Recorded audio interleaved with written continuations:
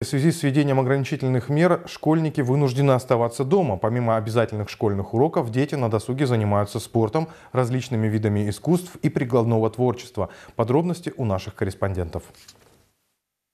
Ограничительные меры во время пандемии – это не повод унывать, а отличный способ открыть себе новые таланты. К примеру, ученица средней школы номер три, выполняя задание педагога, научилась делать необычные подсвечники.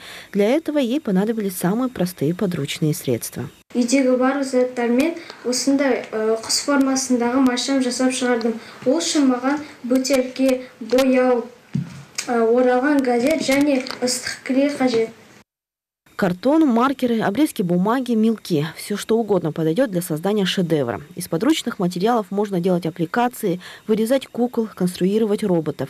Тем временем ученица седьмого класса Айдана Толумханова собрала целую коллекцию своих рисунков.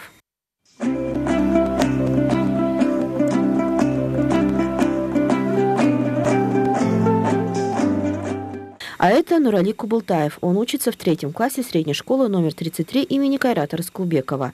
Мальчик уже в юном возрасте увлекается химией и проводит небольшие эксперименты прямо на кухне.